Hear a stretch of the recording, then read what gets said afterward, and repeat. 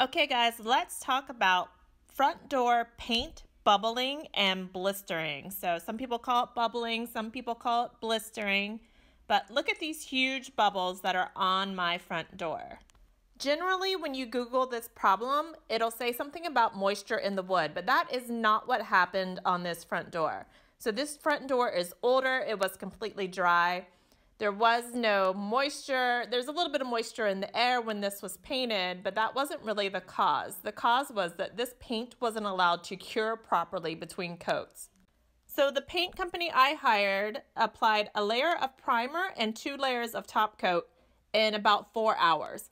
And generally, your paint, typical paint, is going to need four to six hours of cure time for each layer. So it should have been primer, four to six hours cure time, top coat, four to six hours cure time, and then the second layer of the top coat.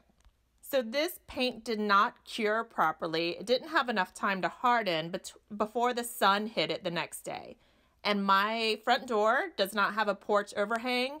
It gets bright, hard Texas sun all morning long. It heated up that paint that hadn't cured and it caused this bubbling. So this paint bubbling on our front door was caused by a combination of the cure time not being followed and the June Texas sun blasting that door before it had fully cured.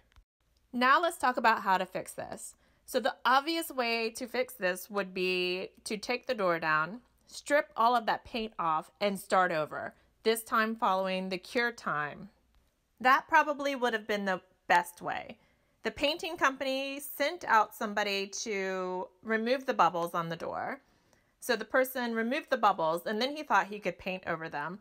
Obviously, that, that didn't work. It left a textured look to the front door, so the paint company had to come back out. They used an exterior grade wood filler to fill in all of that texture on the door, sanded it smooth, and then painted again. This time they applied two coats of Sherwin-Williams SnapDry. So this is a paint that is designed to dry and cure faster than the normal exterior paint.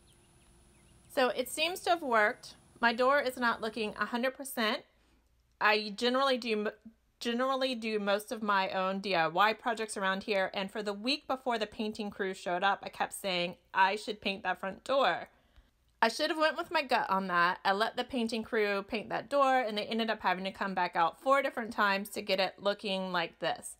But at least I got to make a video about this, guys, and hopefully it can help one of you figure out why the paint on your front door is bubbling or blistering. So don't forget to like and subscribe, guys, and check out my recent video on how to paint vinyl shutters. I did that myself. I used another Sherwin-Williams product that I absolutely love, and it can even make your old vinyl shutters look great. Check it out.